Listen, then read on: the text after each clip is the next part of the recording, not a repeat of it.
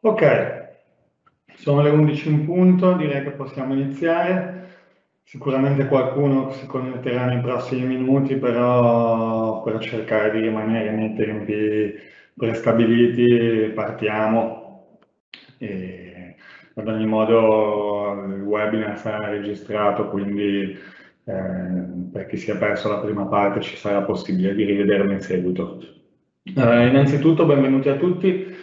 Il tema di oggi è un tema molto importante, avevamo pianificato un webinar eh, e alla fine ne abbiamo fatti cinque durante l'ultima settimana proprio per la quantità di iscritti e per l'interesse che questo argomento giustamente ha suscitato. L'argomento è inerente ai cambi in materia di IVA sul commercio elettronico che entreranno in vigore a partire dal primo di luglio. Eh, si tratta di cambi che sconvolgono profondamente i meccanismi attuali che interessano il 99% dei soggetti che sono attivi eh, nell'e-commerce, tanto eh, gli online seller quanto eh, gli stessi marketplace. Ehm, vorrei anticipare che questa presentazione è principalmente indirizzata ai seller che da domani si dovranno confrontare con le nuove regole e di conseguenza cercheremo di mantenerla il più possibile concreta, pratica, senza, senza entrare in tecnicismi esagerati o dibattiti filosofici eh, sull'IVA sulla, e sulle nuove misure applicate ecco, che, che, che, che, interessano più noi consulenti fiscali ma rischiano poi di fare solo confusione eh, e andare a ehm, complicare ulteriormente eh, la comprensione delle nuove regole. Um, ok. Prima di entrare nel merito della, della presentazione, eh, un paio di commenti, di indicazioni sulla gestione del, del webinar. Eh, alla fine della presentazione dedicheremo un po' di tempo alle, alle domande eh, potete comunque già fare le vostre domande durante la presentazione eh, e insomma alla fine, alla fine delle slide eh, cercheremo di riprenderle tutte in caso non ci riusciremo e, risponderemo poi in seguito insomma via mail a tutto il gruppo eh, con le risposte mancanti. Um, il webinar è in diretta, potete in ogni momento rivedere una parte precedente e tornare live con, con l'apposito tasto e poi infine, come dicevo, dopo la presentazione condivideremo con tutto il gruppo dei partecipanti eh, sia la registrazione che eh, materiale di supporto che vedremo, che vedremo in seguito. Di cosa andremo a parlare oggi? In agenda abbiamo mh, mm, quattro punti fondamentali. Eh, innanzitutto, eh, quali sono le novità e a chi si applicano, è il punto probabilmente più, più, più importante. Eh, secondo luogo, cosa bisogna fare in pratica a livello amministrativo, quindi una volta che si sono comprese le nuove regole, ehm, e questo è un processo iniziale ecco, di questi giorni fino ad arrivare al primo luglio, poi bisognerà confrontarsi con gli adempimenti per i prossimi anni e qui vengono eh, gli aspetti più pratici, quindi la registrazione e le dichiarazioni. Eh, dedicheremo poi un po' di tempo ad alcuni casi pratici che anche con esperienza sui webinar precedenti che abbiamo fatto sarà il momento forse dove poi sarà più facile comprendere eh, nello specifico come le regole vanno a impattare eh, insomma, le, i diversi business model eh, e infine ehm, ci sono un paio di link di, insomma, sulla normativa rilevante e su alcuni, alcune risorse che poi condivideremo dopo, dopo la presentazione. Vedo che il numero dei partecipanti cresce, eh, prima di entrare nel, nel merito del, del, della presentazione eh, diamo ancora un paio di minuti so che una buona parte dei partecipanti sono già clienti di Marosa, ad ogni modo per quelli che non lo sono eh, vorrei dedicare un paio di minuti a presentare Marosa e cosa, e cosa facciamo. Marosa è uno studio tributario che si occupa di IVA intracomunitaria, eh, basicamente offriamo una soluzione centralizzata per l'IVA in tutti i paesi europei, quindi a differenza dei consulenti tradizionali che normalmente si focalizzano su un paese eh, del quale conoscono e sono esperti per tutti gli adempimenti, un pochino il ruolo del vostro commercialista in Italia, noi abbiamo scelto una sola imposta eh, che però trattiamo in tutti i paesi europei, quindi siamo in grado di offrire questa eh, soluzione centralizzata a eh, aziende che eh, hanno obblighi a livello fiscale in altri paesi europei che molto spesso si riducono alla, alla gestione eh, dell'IVA. Quindi facciamo solo IVA, eh, ma in tutti i paesi europei. Facciamo più di mille registrazioni, aperture di partite IVA all'anno e oltre 20.000 dichiarazioni. Eh, siamo molto attivi nel settore e-commerce, facciamo parte del service provider network di Amazon, eh, abbiamo tool specifici che ci supportano nella preparazione delle dichiarazioni, riducendo il più possibile eh, l'intervento umano e il rischio, il rischio di errore. Eh, abbiamo un team che si occupa solo di online seller e circa un 80% dei nostri clienti sono online seller, Amazon seller. Questo per dire che siamo altamente specializzati nella gestione di e-commerce e che conosciamo in maniera molto approfondita ehm, sia gli adempimenti che si rendono necessari in generale, ma specialmente anche in connessione poi ai programmi offerti da Amazon e siamo pratici con tutti i file e i report eh, che si possono estrarre da Amazon. Ecco.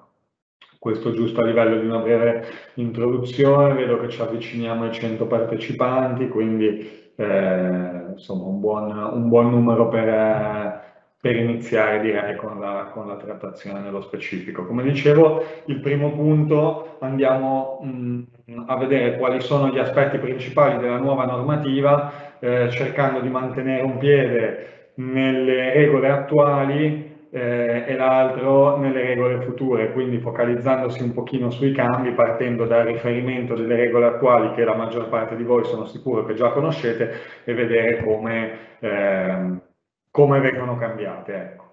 Eh, innanzitutto è rilevante dire che l'OS prevede in realtà tre regimi, eh, che sono l'OS, regime UE, l'IOS o IOS e eh, il regime eh, non UE. L'OS eh, è il blocco di normative che si, che si, applica alla vendita a distanza di beni che avvengono all'interno dell'Unione eh, Europea. Quindi quando sono quelle vendite B2C eh, per cui i beni vengono inviati da un paese dell'Unione Europea a un consumatore finale localizzato in un altro paese dell'Unione Europea. Eh, e queste sono quelle che da oggi, eh, per come formulate e definito nella nuova normativa, si definiscono vendite a distanza intracomunitarie.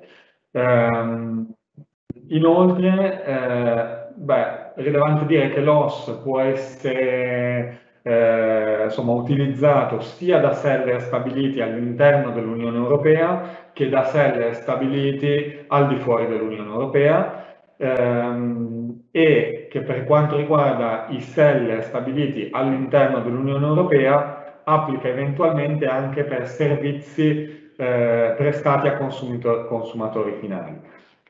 Um, L'IOS invece si riferisce alle vendite di beni a consumatori finali quando i beni sono inviati da un paese esterno all'Unione eh, Europea a un consumatore finale, direttamente a un consumatore finale localizzato all'interno dell'Unione Europea.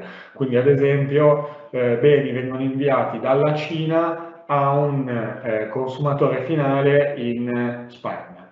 Eh, importante che vengano inviati direttamente eh, nel momento in cui questi beni vengano importati, ad esempio in Italia, stoccati in Italia e dopo venduti eh, insomma, al cliente spagnolo, per rimanere sullo stesso esempio, non, questo tipo di transazione non ricade nell'IOS, ma ricade sempre nell'OS. Um, anche l'IOS può essere utilizzato tanto da, da seller stabiliti all'interno dell'Unione Europea quanto da seller eh, extra UE. In ultimo abbiamo il non union scheme, scheme che è riservato solo ai servizi eh, prestati a consumatori finali da fornitori stabiliti al di fuori dell'Unione Europea. Quindi mh, ai fini di questa presentazione, siccome ci, ci, ci vogliamo centrare principalmente sui, eh, sulle vendite a distanza, quindi di beni, i regimi rilevanti sono l'OS per le vendite all'interno dell'Unione Europea tanto da parte di seller stabiliti o non stabiliti all'interno dell'Unione Europea e l'IOS per eh, vendite di beni importati eh, da paesi esterni all'Unione Europea e inviati direttamente al consumatore eh, finale. Il comune denominatore di tutti questi schemi è che eh, funzionano come uno sportello unico, quindi che consente di applicare l'IVA del paese di destino, dichiarandolo però e pagando l'imposta nel paese d'origine. Quindi il senso di, queste, di questo pacchetto di norme è senz'altro quello di portare una certa semplificazione andando a eh, ridurre gli adempimenti, andando a consentire l'applicazione nel paese dell'IVA nel paese di destino, evitando l'onere di registrarsi in tutti i paesi e presentare eh, decine di dichiarazioni eh, in, tutti, in, tutti, i paesi. Eh, vedremo che mh, questa intenzione ha portato ai risultati attesi e porterà in realtà ai risultati attesi solo in determinate circostanze. In molti altri casi in realtà si, eh, in virtù delle eccezioni che, che, che ci sono, eh, in diversi casi porterà a in realtà una complicazione dello scenario rispetto, rispetto a prima. Un'ultima menzione su questi schemi è che sono tutti opzionali, quindi eh, è una possibilità che viene offerta ai contribuenti di evitare di registrarsi in tutti i paesi di destino eh, e di dichiarare l'IVA nel proprio, insomma, in un unico paese, fare solo una dichiarazione in un paese, ma non è assolutamente obbligatorio aderire, c'è sempre la possibilità, per una ragione o per l'altra, di mantenere le partite IVA eh, attive. Um, andiamo adesso a vedere quali sono i cambi nel primo di questi regimi, l'OS. Quindi, come dicevamo, il campo di applicazione dell'OS sono le vendite B2C fra eh, paesi dell'Unione Europea. Quindi, ripetendo quello che abbiamo detto prima, eh, prodotti stoccati in un paese dell'Unione Europea, per esempio l'Italia, e dall'Italia inviati a consumatori finali localizzati in altri paesi dell'Unione Europea, ad esempio la Germania o la Spagna. Eh, fino al 30 giugno eh, resta in vigore il pacchetto precedente di regole che prevede una semplificazione per la quale fino a determinate soglie di protezione per paese è possibile applicare l'IVA del paese di provenienza dei beni. Al raggiungimento di quelle soglie, che in generale sono 35.000 euro con qualche eccezione a 100.000 euro, questo è il range 35-100.000 che era previsto dalla direttiva IVA eh, dell'Unione dell Europea, ehm, quindi fino al raggiungimento di queste soglie si applica, per esempio, se il seller invia i prodotti dall'Italia l'IVA italiana, al raggiungimento, eh, per esempio, se si vende in Francia fino a 35.000 si applica l'IVA italiana, al raggiungimento dei 35.000 bisogna essere pronti a applicare l'IVA francese. Eh, essere pronti a applicare l'IVA francese con le regole attuali cosa significa? Significa che bisogna intanto aprire una partita IVA francese, presentare dichiarazioni, ovviamente applicare l'IVA francese nelle proprie fatture o corrispettivi, eh, presentare dichiarazioni periodiche in Francia e pagare l'IVA direttamente alle autorità eh, francesi. Eh, con le nuove regole che entrano in vigore a partire dall'1 luglio, come cambia la cosa? Le soglie di protezione sono state annullate, eh, è stata inserita solo una soglia minima di 10.000 euro complessivi per cui è possibile applicare l'IVA del paese di provenienza dei beni. Eh, è una soglia complessiva, quindi non sono 10.000 euro solo per la Francia, ad esempio, sono 10.000 euro in totale. Se io vendo 5.000 euro in eh, Francia e 5.000 euro in Germania, sono già arrivato alla soglia dei 10.000 euro e a partire da quel momento sarò, sarò obbligato ad applicare l'IVA del paese di destinazione in tutti i paesi in cui vendo. Quindi se facessi poi una vendita in Austria o una vendita in Estonia, una sola vendita nell'anno, dal momento in cui sono arrivato a quella soglia dei 10.000 euro sarò tenuto ad applicare l'IVA del paese di destinazione. Eh, quindi si anticipa moltissimo l'applicazione dell'IVA del paese di destinazione. Inoltre su questa soglia dei 10.000 euro è rilevante notare che non applica in determinati casi abbastanza comuni. Ad esempio, quando il seller è un'impresa stabilita al di fuori dell'Unione Europea, per esempio se è un'impresa svizzera o un'impresa eh, del Regno Unito, la soglia dei 10.000 euro non applica. E non applica neanche quando si vende da stock localizzati in più di un paese europeo. Quindi quando si utilizza il programma paneuropeo di Amazon, ad esempio, o comunque FBI in un altro paese europeo, eh, la soglia dei 10.000 euro non conta più e bisogna applicare l'IVA del paese di destinazione fin eh, dalla prima vendita.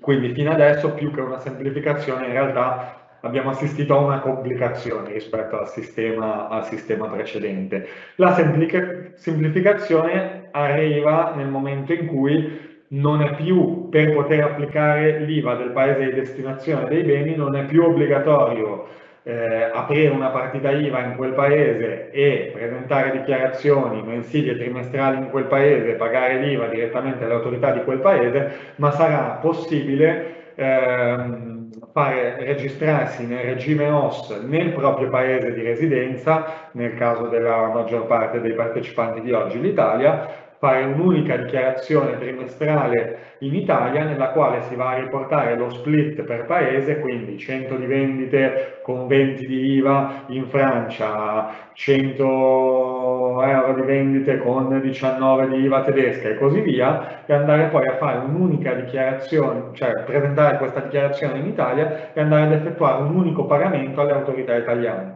Eh, sulla base poi della dichiarazione ovviamente gli Stati membri compenseranno eh, le posizioni fra, fra, di loro.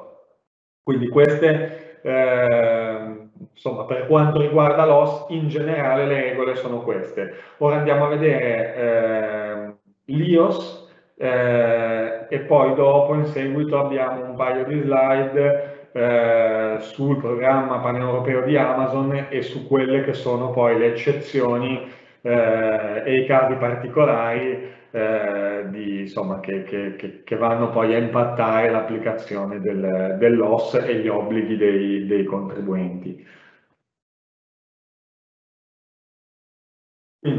Eh, l'IOS andiamo a vedere nello stesso modo che abbiamo fatto per l'OS, quindi comparando quello che succedeva prima con quello che succede dopo. Allora l'IOS si applica alle vendite B2, B2C all'interno dell'Unione Europea quando i beni vengono inviati da un paese esterno dall'Unione Europea, per esempio la Svizzera, eh, a un cliente finale localizzato in un paese europeo e quando il valore totale dell'invio non supera i 150 euro. Eh, fino ad oggi ehm, il seller deve prendere una sorta di decisione, nel senso deve decidere chi sarà l'importatore ufficiale, colui che, eh, il cui nome appare sui documenti di importazione eh, dei beni. Quindi ehm, i casi, le possibilità sono due. Il cliente può agire da importatore, essere quello che in inglese si chiama importer of record, eh, in questo caso sarà proprio il cliente a dover pagare l'IVA di importazione e i dazi doganali nel momento in cui il corriere gli consegna il bene. Se no c'è il caso 2, il caso B, eh, in cui il è il fornitore, quindi il seller, ad agire da, import da importatore e sarà quindi eh, il seller a dover pagare l'IVA all'importazione ed emetterà poi una fattura o un corrispettivo al cliente finale con eh, applicazione eh, dell'IVA locale. Sarà praticamente un'importazione seguita da una, da una, vendita locale. Nel primo caso il seller non ha nessun obbligo di, di identificarsi ai fini IVA, lo svantaggio di questo caso a fini commerciali principalmente è che tutti, eh, insomma, il carico amministrativo eh, cui, cioè che si risparmia il seller viene eh, spostato sul, sul, cliente, mentre invece nel caso B eh, è necessario che il seller si identifichi ai fini IVA nel paese in cui importa eh, e quindi poi vada a presentare le dichiarazioni, le dichiarazioni cioè paghi l'IVA alle importazioni, si identifichi ai fini IVA, emetta una, una, una, una fattura con, con, IVA locale al cliente finale e poi dovrà presentare le dichiarazioni periodiche nelle quali riporterà sia l'IVA all'importazione pagata in dogana, sia l'IVA applicata al cliente finale e, e, poi andrà eventualmente a pagare la, la, la, la differenza tra le due. Um, queste regole eh, applicano in realtà e continueranno ad applicare eh, in caso di invii superiori ai 150 euro. Quindi le regole che abbiamo discusso ora sono le regole in vigore per tutte, ad oggi, per, fino al 30 giugno, per tutte le importazioni, eh, insomma questo tipo di vendite B2C per cui i beni partono dal, dal di fuori dell'Unione Europea si consegnano a un cliente finale localizzato nell'Unione Europea, al di là del valore dell'invio. A partire dall'1 luglio continueranno ad applicare per invii superiori ai 150 euro, ma per invii inferiori ai 150 euro entrerà in vigore eh, il nuovo regime eh, IOS. Eh, quindi il nuovo regime eh, IOS cosa prevede? Prevede che l'importazione de dei beni sarà esente, quindi non si applicherà IVA eh, all'importazione e si applicherà direttamente nella fattura o corrispettivo dal seller al cliente finale IVA del paese del cliente finale. Um, il seller può optare per eh, registrarsi nel regime OS che in maniera analoga per quello che accade per l'OS gli consentirà di dichiarare l'IVA nel paese eh, in cui si è registrato eh, per l'OS, effettuare un unico pagamento e far sì che far, così, far sì che poi gli stati membri vadano a, vadano a compensarsi fra loro eh, le, le, le, le posizioni. Ecco. Quindi questi sono i due eh, principali regimi, l'OS e l'IOS, e come, come, come funzionerà a partire eh, dall'1 di luglio. Vale la pena dire un paio di parole eh, su alcuni aspetti che forse per il fatto che la maggior parte dell'audience di oggi sono imprese stabilite in Italia eh, forse non impatta più di tanto, però per completezza è giusto eh, menzionare. Intanto avevamo anticipato, il regime non EU eh, è applicabile per servizi B2C prestati da fornitori non europei. Uh, Un'altra cosa che già abbiamo menzionato nella slide precedente è che le vendite a distanza di beni importati del valore superiore a 150 euro contano le vecchie regole, quindi bisognerà eh, stabilire chi sarà il soggetto che si incarica dell'importazione, colui che ufficialmente effettua l'importazione. Se sarà il cliente non c'è bisogno per il seller di alcuna registrazione nel paese del cliente, ma il cliente dovrà pagare IVA all'importazione e dazi doganali, se è il fornitore sarà necessario pagare l'IVA all'importazione e registrarsi, applicare l'IVA al, al, al cliente finale e registrarsi ai fini IVA in quel paese. Una cosa molto importante ehm, è il nuovo ruolo dei marketplace. I marketplace assumono una nuova funzione, una cosa che abbiamo già in qualche modo visto eh, in Regno Unito eh, dopo il Brexit, in realtà il Regno Unito che sulla base delle bozze del, dell'e-commerce package dell'Unione Europea eh, diciamo, ha, preso, ha preso spunto nei meccanismi, Comunque il nuovo ruolo del marketplace. In alcuni casi il marketplace diventa fornitore presunto, quindi eh, non sarà più il seller che vende a, direttamente al cliente finale, ma sarà il seller che vende al marketplace e il marketplace che vende al cliente finale e il marketplace che sarà responsabile per la dichiarazione e il pagamento dell'IVA verso eh, le autorità. Questo quando avviene? In due casi. Uno, quando ovviamente il prerequisito è che la vendita avvenga attraverso un marketplace. Se la vendita attraverso, avviene attraverso un e-commerce, ovviamente non, questo, questo, questo, tipo di responsabilità del marketplace non può applicare. Eh, e poi applica quando il fornitore ha stabile organizzazione al di fuori dell'Unione Europea, quindi ad esempio un seller stabilito in Regno Unito o in Svizzera, eh, oppure quando i beni vengono spediti al di fuori del, da fuori dell'Unione Europea e hanno un, un, un, valore inferiore a 150 euro. Quindi anche nel caso di un seller italiano che invia prodotti dalla Svizzera eh, a un cliente finale localizzato in Francia, utilizzando un marketplace, ad esempio Amazon, il marketplace diventa ehm, fornitore eh, presunto. Questo è uno strumento adottato dall'Unione Europea per assicurarsi il pagamento dell'imposta da parte di imprese non, non EU o eh, in caso di beni eh, provenienti da paesi extraeuropei eh, che spesso sono stati oggetto in passato di, di, di, di, elusione fiscale. Un altro concetto che viene introdotto dal, dal nuovo pacchetto di norme è quello di intermediario. L'intermediario è un soggetto riconosciuto dalle autorità locali che deve essere nominato quando eh, il fornitore ha stabile organizzazione al di fuori dell'Unione Europea e sta effettuando vendite a distanza di beni importati.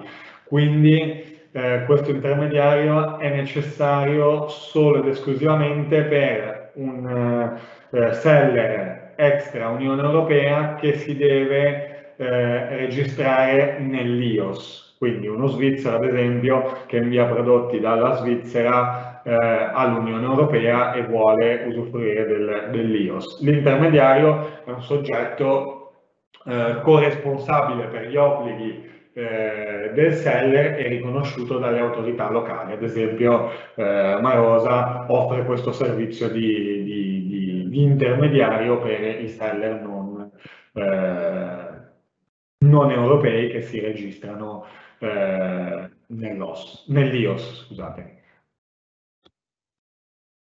Andiamo a vedere ora il programma paneuropeo di Amazon. Eh, come tutti sapete, e prendiamo il programma paneuropeo ad esempio perché è eh, la circostanza più frequente in cui eh, gli online seller eh, mantengono uno stock di beni in eh, paesi esteri, quindi con il programma paneuropeo, come tutti sicuramente sapete, è possibile dare in consegna i beni ad Amazon nel proprio paese, ad esempio il seller italiano dà in consegna i beni ad Amazon in Italia e autorizza in seguito Amazon a movimentare questi beni in vari paesi eh, europei. Fino all'anno scorso dovevano essere tutti i paesi FBA eh, di Amazon, a partire da quest'anno è possibile sceglierli, eh, quindi il risultato è eh, che si mantiene uno stock in vari paesi europei con, con gli ovvi vantaggi a livello commerciale, eh, quindi essendo in Amazon Prime o in tutta Europa o comunque nei paesi in cui si è autorizzato lo stoccaggio e abbattendo notevolmente i costi di invio. Eh, la brutta notizia è che le nuove regole eh, sull'e-commerce non applicano quando avviene un movimento di stock. Quindi quando avviene un movimento di stock in altri paesi europei eh, le regole non cambiano ed è ancora necessario aprire una partita IVA in eh, quel paese. Ai fini di, di riportare i movimenti di stock fra i magazzini che si configurano come acquisizioni intracomunitarie, i movimenti in entrata, cessione intracomunitaria, eventuali movimenti poi in uscita, quindi da, tra magazzini esteri, e le vendite locali eh, che si effettuano nel paese, quindi avendo stock in Germania ad esempio, la vendita che del magazzino tedesco va al, al consumatore finale localizzato in Germania deve essere eh, riportata in dichiarazione IVA tedesca. C'è poi una complicazione perché nel momento in cui si effettuino vendite al di fuori dei paesi di stoccaggio, quindi ad esempio dal magazzino tedesco, cioè quindi un seller italiano che ha eh, stock di prodotti attraverso il programma pan-europeo, semplifichiamo, in Italia e in Germania, attivato solo questi due paesi. Si dovrà registrare in Germania, aprire partita IVA in Germania, presentare dichiarazioni mensili in Germania e dichiarare in queste dichiarazioni le vendite a consumatori finali tedeschi. Se poi effettua vendite al di fuori della Germania, ad esempio un cliente austriaco compra sul marketplace tedesco oppure si vende anche su altri marketplace in cui non si stocca dallo stock italiano e tedesco, è anche poi necessaria applicare l'IVA del paese di destinazione su queste vendite, tanto più che la famosa soglia dei 10.000 euro non applica nel momento in cui si mantiene stock eh, si inviano, si, si, effettuano vendite a distanze intercomunitarie da più di un paese dell'Unione Europea. Quindi per la maggior parte direi dei seller che sono nel programma pan-europeo in realtà la situazione si complica perché prima avevano partita IVA nel paese di stoccaggio e dovevano aprire altre partite IVA solo nel momento in cui arrivavano a un'eventuale soglia di protezione, quindi fino a 35.000 euro, per l'esempio di prima, di vendite effettuate a clienti eh, in Austria, potevano applicare l'IVA eh, tedesca se il bene saliva dalla Germania o l'IVA italiana se il bene eh, partiva, partiva dall'Italia. Eh, adesso invece saranno tenuti ad applicare l'IVA del paese di destinazione e registrarsi nell'OS sempre che non optino per non aderire al regime OS e eh, applicare l'IVA del paese, insomma, e, mm, eh, aprire la partita IVA direttamente eh, in Austria. Um,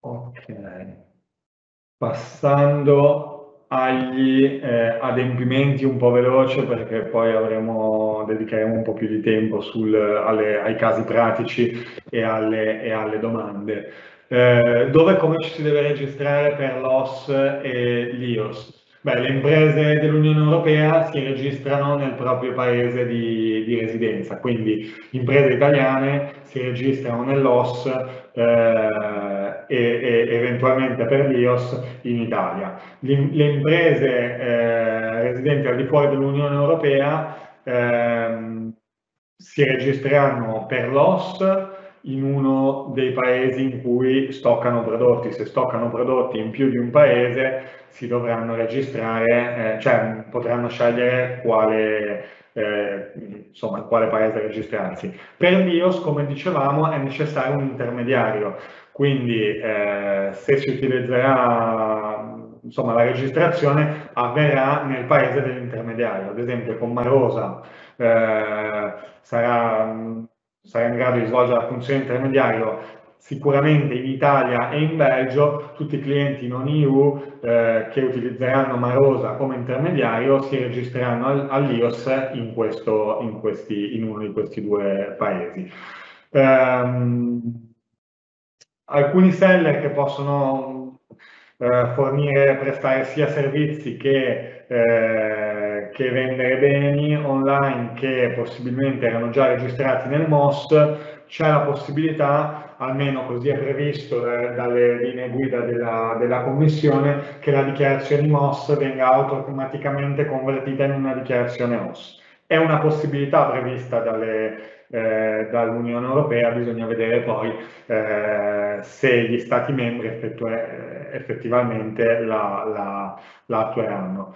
Le istanze di registrazione devono essere eh, presentate necessariamente telematicamente per il discorso del, per, per, nel caso dell'Italia ad esempio è necessario avere le password di accesso all'area riservata del, eh, del sito dell'Agenzia delle Entrate. Eh, nel caso dell'OS mm, è rilevante menzionare che si mantiene la stessa partita IVA, quindi non si eh, del paese di residenza, quindi un seller italiano registrerà la propria partita IVA italiana all'interno dell'OS, non, non, avrà, non gli verrà attribuito un numero OS eh, separato. Per l'IOS invece sì che ci saranno eh, dei, dei un numero, un numero separato. Ecco. Da qua abbiamo un esempio di, del portale di, insomma, irlandese per la registrazione. Eh, l'unica cosa da rimarcare qua è che eh, come vedrete se accedete nel vostro spazio dedicato nell'agenzia entrate c'è una serie di domande eh, che hanno una rilevanza a fini fiscali eh, da rispondere sulla propria attività e sulle proprie situazioni. Il nostro consiglio è quello che sia Marosa o che sia un altro consulente di appoggiarsi a qualcuno che ha, che ha, che ha la conoscenza per poter eh, insomma, rispondere in maniera adeguata a queste domande perché eh, si potrebbe incorrere nel rischio con un semplice tick o una semplice casella completata poi di avere eh, ripercussioni, ripercussioni in, in, futuro. Passiamo alle dichiarazioni. Allora, le dichiarazioni eh, per l'OS sono trimestrali e per l'IOS sono mensili e la scadenza è sempre l'ultimo giorno del mese successivo al periodo di dichiarazione. Quindi per l'OS la prima dichiarazione da presentare sarà per il periodo, per il trimestre luglio, agosto, settembre, sarà a fine ottobre eh, 2021. Per l'IOS eh, la prima sarà a, a, a, fine, a, fine, agosto per il periodo di luglio. Come abbiamo, come abbiamo già detto, si effettuerà un solo pagamento alle autorità eh, del paese di registrazioni, in termini di sanzioni eh, ed eventuali accertamenti è rilevante eh, menzionare che normalmente il primo avviso sarà inviato dal paese di registrazione, quindi se vi iscrivete all'OS in Italia normalmente un primo avviso vi sarà inviato eh, eventualmente, speriamo di no, dalle autorità eh, italiane. Nel momento eh, in cui ci saranno successive comunicazioni, successivi avvisi dalle autorità locali, saranno poi le autorità del paese di destino a mettersi in contatto con voi. Quindi c'è ancora il rischio purtroppo a partire dal secondo, dalla seconda comunicazione di ricevere ehm, eh, notificazioni direttamente dalle autorità polacche in polacco o dalle autorità tedesche eh, in tedesco. Eh, rispetto alle dichiarazioni è utile dire che in diversi paesi ancora eh, non, sono state, non, sono state, pubblicate, tra cui l'Italia, però per la prima presentazione c'è ancora qualche mese e quindi eh, ce lo tutti che non, non, non pubblichino il modello eh, gli ultimi tre giorni, ma ci lasciano un pochino di tempo per, per, per poterlo analizzare. Eh, in alcuni paesi la dichiarazione OS e IOS sono consolidate, in alcuni altri paesi invece saranno due dichiarazioni separate da dover, da dover eh, inviare, eh, sono sempre in lingua locale, quindi in Italia saranno in italiano e gli importi devono essere indicati in euro o in caso di paesi eh, con altre monete eh, in moneta locale convertita sempre con i tassi di cambio pubblicati dalla eh, BCE. Eh, beh, questo è un esempio di dichiarazione, questa è quella spagnola, come vedete c'è eh, insomma ogni linea eh, per riportare insomma il paese eh, il paese di consumo, l'aliquota IVA, l'imponibile e, e eh, l'IVA. Passando ai casi pratici, eh, quindi il primo caso che, che presentiamo è un'impresa dell'Unione Europea che vende online dal proprio magazzino. Quindi un'impresa italiana effettua vendite online inviando i propri prodotti dal proprio magazzino situato in Italia a consumatori finali localizzati eh, in Italia e altri paesi dell'Unione Europea. È stata superata la soglia annuale dei 10.000 euro di vendita a distanza intracomunitari. Quindi quali sono gli obblighi di questa, di questa impresa? Eh, Beh, le vendite B2C dall'Italia a altri paesi europei, avendo superato la soglia dei 10.000 euro, sono eh, tassabili nel paese di destino, quindi eh, sarà necessaria una eh, dichiarazione OS, a meno che non si opti per registrare la partita IVA in tutti i paesi di destino. Eh, in dichiarazione IVA italiana bisognerà comunque riportare le vendite B2C eh, effettuate dall'Italia a consumatori italiani e si riporteranno anche gli acquisti. Eh, una cosa che non abbiamo menzionato è che nella dichiarazione OS non è possibile eh, dichiarare nessun acquisto, quindi riportare IVA in detrazione. L'IVA verrà comunque eh, l'IVA credito verrà comunque riportata nella dichiarazione del proprio paese di stabilimento.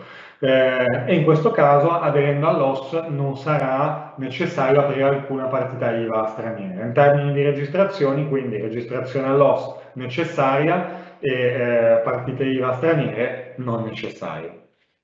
Eh, diciamo che questo tipo di seller eh, hanno un vantaggio momento, rispetto al sistema precedente nel momento in cui avevano volumi di vendite che superavano, che gli imponevano, cioè che superavano le soglie di protezione in uno o più paesi. Quindi se si superava la soglia in tre paesi, prima bisognava avere tre partite IVA, adesso è sufficiente, si possono chiudere queste partite IVA, registrarsi nell'OS e fare un'unica registrazione in Italia. Per, per seller che non superavano le soglie di protezione in realtà è un ulteriore obbligo perché prima potevano vendere dall'Italia ai paesi di destinazione eh, applicando IVA italiana fino a soglia abbastanza importante, eh, per esempio se vendeva in Germania e Francia erano 100.000 solo per la Germania e 35 solo per la Francia, ora a partire da 10.000 complessivi si devono registrare nell'OS e fare una dichiarazione OS. Passando al prossimo caso, un'impresa che vende online eh, beni inviati da fuori dall'Unione Europea, quindi un'impresa svizzera ad esempio effettua vendite online inviando i prodotti dal proprio magazzino situato in Svizzera a consumatori finali localizzati in vari paesi dell'Unione Europea. Eh, il valore di ogni invio è inferiore a 150 euro, quindi eh, questa impresa dovrà, eh, come dicevamo, spendere al di sotto dei 150 euro, eh, potrà effettuare dichiarazioni IOS, eh, quindi non si applicherà IVA di importazione, applicherà direttamente l'IVA del paese di consumo nelle vendite ai consumatori finali, si potrà eh, registrare nel regime IOS, dichiarazioni IVA straniere non saranno necessarie. Quindi bisognerà registrarsi nell'IOS e non aprire nessun'altra partita IVA. Qua un paio di punti, quando le vendite vengono effettuate attraverso un online marketplace l'obbligo di dichiarazioni IOS ricade sul marketplace, come avevamo detto, quindi in questo esempio specifico eh, non si dovrebbe registrare nell'IOS il seller direttamente, eh, e qualora il valore della spedizione fosse invece superiore a 150 euro, l'IOS non è applicabile e quindi andiamo a quel meccanismo che abbiamo discusso all'inizio della presentazione per cui bisogna stabilire chi è l'importer of record e da lì andare a vedere insomma, quali sono le implicazioni, se è necessario registrarsi eh, o meno. Passando al prossimo caso, pane europeo FBA, registrazione finiva, un'impresa italiana effettua vendite online attraverso Amazon, L'impresa aderiva al programma paneuropeo ed ha attivato lo stoccaggio in Germania, Francia e Spagna, oltre che in Italia. Inoltre l'impresa vende attraverso un proprio sito web, inviando i prodotti dal proprio magazzino italiano ai clienti finali in vari paesi europei. In questo caso, come abbiamo detto, eh, nei paesi di stoccaggio è necessario aprire una partita IVA al fine di presentare dichiarazioni IVA nelle quali si dichiarano i movimenti di stock, e le vendite a consumatori finali localizzati nel paese eh, di stoccaggio, quindi le vendite ad esempio Germania-Germania. Invece le vendite B2C che si effettuano dall'Italia ad altri paesi europei attraverso il proprio e-commerce oppure da qualsiasi, uno qualsiasi dei paesi di stoccaggio a un altro paese eh, europeo andranno dichiarate in US, quindi sarà ancora necessaria la eh, registrazione nel eh, regime OS. Ehm, siamo arrivati alla fine della presentazione, una parola veloce su, sulle risorse eh, principali eh, alle quali potete fare riferimento. Dopo la presentazione condivideremo le slide, quindi avrete la possibilità di eh, eh, cliccare su questi link e vedere il materiale. Intanto abbiamo pubblicato sul nostro sito un manuale dell'OS, per il momento in inglese, lo stiamo traducendo in italiano, quindi nei prossimi giorni sarà disponibile in italiano, nel quale abbiamo eh, un po' semplificato e ristrutturato le, le, le, guida, le guide pubblicate dall'Unione Europea. Le fonti principali eh, alle quali fa riferimento, pubblicate dal, dalla, dalla, Commissione, sono la guida sull'OS e le note esplicative. Sono documenti un po' lunghe, un po' lunghi, eh, più di un centinaio di pagine, eh, sono lo strumento principe. Chi veramente volesse approfondire nel dettaglio eh, tutti i possibili casi eh, può fare riferimento a questi documenti. E infine abbiamo preparato una tabella nella quale eh, abbiamo preso in, eh, in considerazione una serie di scenari e gli obblighi che ne derivano. Anche questa la condivideremo nell'email eh, che riceverete. Eh, siamo arrivati alla fine del, del, tempo che avevamo previsto, dedicherei ancora 5-10 minuti per andare a rispondere alle, eh, alle domande. Eh, quindi eh, dovreste ora vedere non più la presentazione ma solo la mia, eh, la mia immagine. Vedo che abbiamo abbastanza una ventina di domande, vedremo di rispondere il più possibile. Eh, Andrea dice, io vendo su Amazon, con questa nuova normativa verranno aboliti i limiti massimi di fatturato, eh, oltre i quali è necessaria la prima partita IVA nel paese estero? Eh, sì, era una domanda ricevuta all'inizio di presentazione, effettivamente le soglie di protezione dei 100.000 euro in Germania o dei 35.000 euro nella maggior parte dei paesi vengono aboliti e si applicherà sempre l'IVA di destinazione, eh, salvo i soggetti ai quali applica la soglia dei 10.000 euro. Dove posso trovare le aliquote IVA agevolate per ogni singolo paese dell'Unione Europea? Allora, sul nostro sito, sul sito di Marosa, potete trovare una tabella di tutte le aliquote applicabili nei vari paesi europei. In più, la Commissione Europea ha pubblicato, ehm, possiamo anche condividere nell'email quando inviamo la, ehm, la registrazione ehm, del, del, webinar e materiale di supporto, eh, ha pubblicato una pagina nella quale attraverso i codici prodotto è possibile andare a, a, a verificare le partite IVA in ogni paese di destinazione, quindi le fonti eh, sono queste.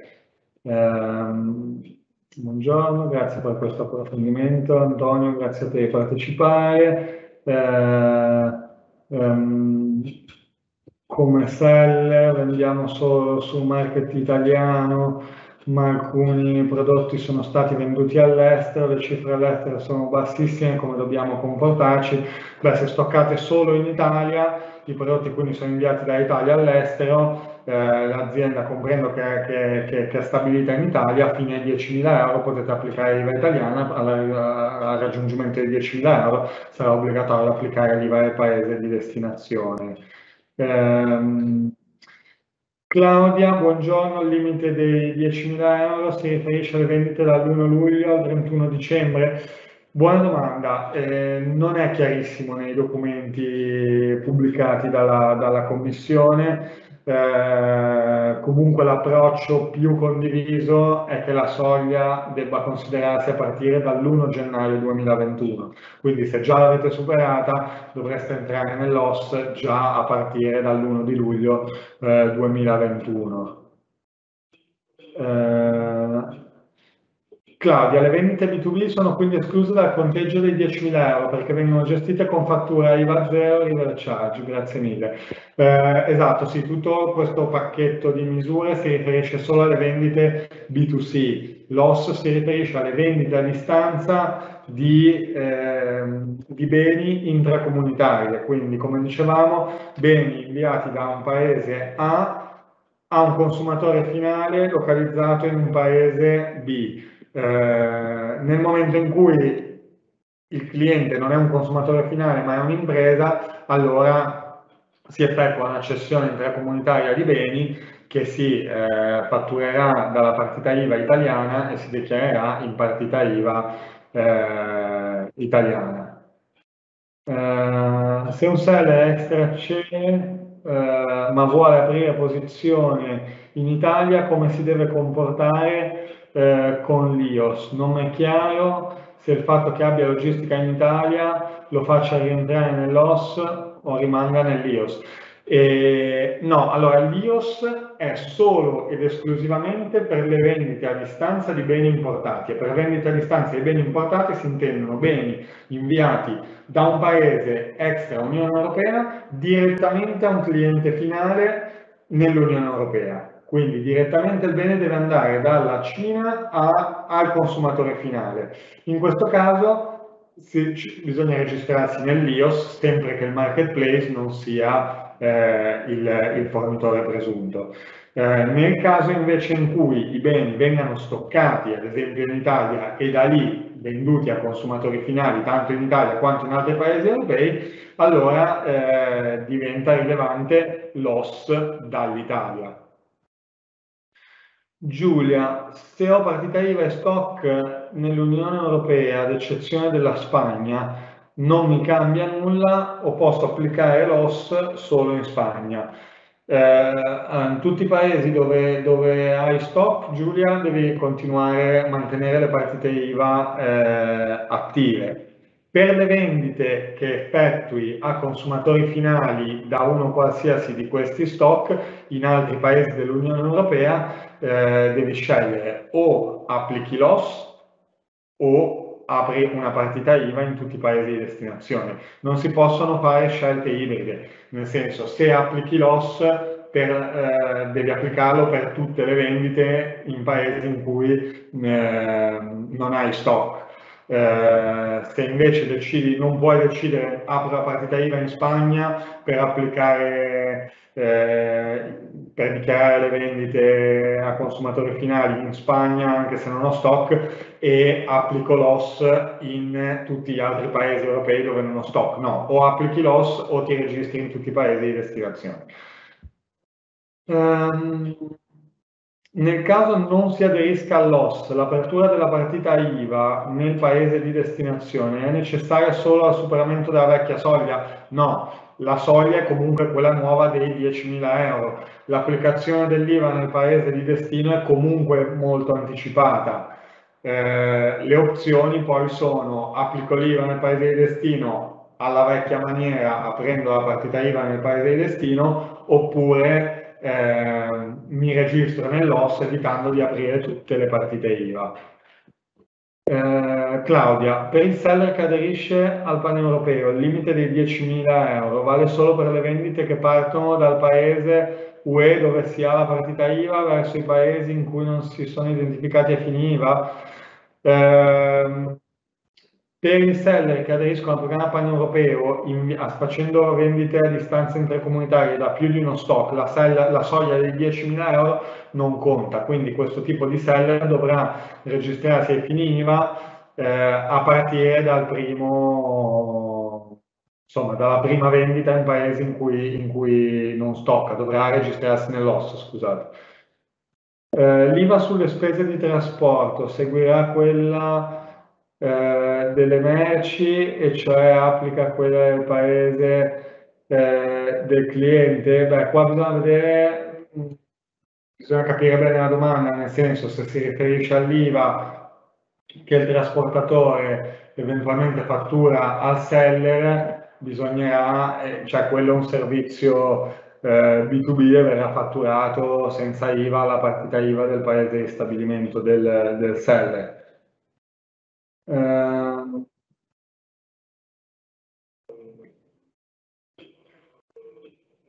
Eh, non è possibile ammettere IVA in detrazione su acquisti, vale anche per le note di variazione tipo note di credito? No, quando, quando ci sono note di credito è possibile riportarle in dichiarazioni, in dichiarazioni OS. Quello che non è possibile fare è, di, è, è dichiarare acquisti eh, o importazioni. Quelle vanno comunque dichiarate nella, nella, nella, eh, nella dichiarazione IVA del paese di stabilimento. Ecco. Uh, Fabio, qualora Amazon effettui un restock del mio prodotto, ad esempio per un reso rimesso in vendita come nuovo ma in un magazzino estero rispetto all'Italia dove è stoccato normalmente il prodotto, come mi devo comportare riguardo uh, a quel prodotto una volta che verrà rivenduto, spedito quindi da quel magazzino estero? Um, allora, se non avete intenzione di aprire partita IVA in quel paese, dovete sincerarvi nel setup di Amazon, nel seller center, che i vostri beni non vengano messi a disposizione per la rivendita, perché su questo tema non cambia la situazione di oggi e anche l'approccio di Amazon di chiusura dell'account per chi stocca prodotti e non si registra. Quindi se voi vendete per esempio in Germania eh, dichiarando le vendite in dichiarazione OS, quindi senza aprire partita IVA in Germania, dovete poi sincerarvi che eventuali resi vengano, non vengano rimessi la, a disposizione per la rivendita in Germania.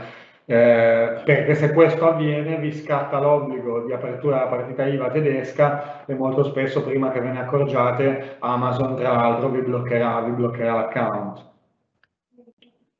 Eh, sono arrivato adesso, è possibile arrivare alla registrazione? Gabriele, sì, certo, dopo, dopo il webinar eh, invieremo a tutti la, eh, la registrazione. Eh, la nostra azienda vende su Amazon e abbiamo già partita IVA aperta in Germania, Francia, Spagna, Repubblica Ceca e Polonia. Decidiamo di non espanderci ulteriormente, l'iscrizione all'OS non è necessaria ma l'OS è obbligatorio o su base volontaria? No, l'OS è su base volontaria. Allora, se voi avete partita IVA in questi 1, 2, 3, 4, 5, 6 paesi europei, eh, eh, 5 paesi eh, europei e vendete a clienti che sono solo all'interno di questi 5 paesi, non avete bisogno dell'OS perché comunque su tutte le vendite potete poi dichiararle nelle dichiarazioni eh, IVA locali della quale avete la partita IVA. Il problema sorge se attivate le vendite ad esempio sul marketplace olandese o svedese o se, se, se, se vendete anche a clienti che si trovano, che comprano su questi marketplace ma da altri paesi europei, esempio il cliente austriaco che compra sul marketplace tedesco, ehm, e in quel caso avete, uh, dovete applicare l'IVA al paese di destinazione e dovete registrarvi nell'OS. Loretta, complimenti esaustivo, ciao, grazie a te Loretta di partecipare. Eh, una volta, Andrea, una volta registrati all'OS ci sono tempi lunghi di attesi per la conferma o è immediata? Eh, buona domanda, lo stiamo scoprendo anche noi, nel senso che abbiamo fatto le prime registrazioni qualche giorno fa, ancora sono, eh, insomma, si stanno processando da parte della, della, dell'amministrazione, quindi eh, diciamo attualmente sì che c'è un po' di tempo tecnico da, da, da, parte loro, speriamo che una volta consolidato il processo diventi una cosa un pochino più, una cosa un pochino più veloce. Eh, abbiamo ancora 5 o 6 domande, ma siamo arrivati a mezzogiorno, siamo già, siamo già oltre eh, tempo limite, risponderemo a queste poche domande eh, via mail. Eh, ringrazio tutti per aver partecipato al, al webinar e eh, come ho detto in fase iniziale, condivideremo la registrazione, i materiali di cui abbiamo parlato durante la, la registrazione e in caso di, aggiorn in caso di aggiornamenti eh, invieremo anche al gruppo di, insomma, di, tutti gli iscritti a questo webinar eh, eventuali aggiornamenti su, su, su, sull'applicazione del regime eh, e sugli aspetti pratici che potrebbero essere chiariti nei prossimi giorni. Ciao a tutti!